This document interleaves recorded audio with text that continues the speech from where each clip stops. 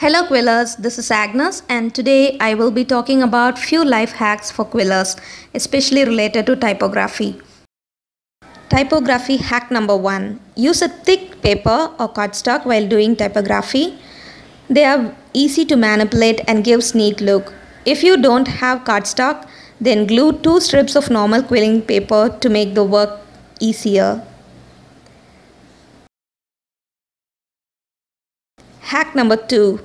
While transferring a font to the project, place a foam sheet under the project area and put the sheet of paper which has the font above.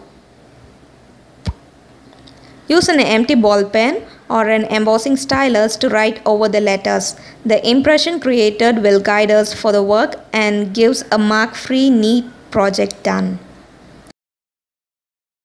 Hack number 3. Always do outline first and then do the filling. While doing an individual letter, do the inner part of the letter first and then the outer part. By this I mean while doing letter D for example, do the inner layer of the D first and then the outer layer so that it is easy to handle. If using a different color for the letters, make a cutout of the letters first and then quill over it. Hack number 4 while gluing, wet the paper strip with glue and wipe away excess glue by placing them over some surface so that you take minimum glue. This avoids bulks of glue in the project and any glue marks. In case you get any glue marks, remove them immediately from the project. Hack number 5. If you decide to color them, then first finish coloring the letters and quill finally. Don't quill and then try to color them.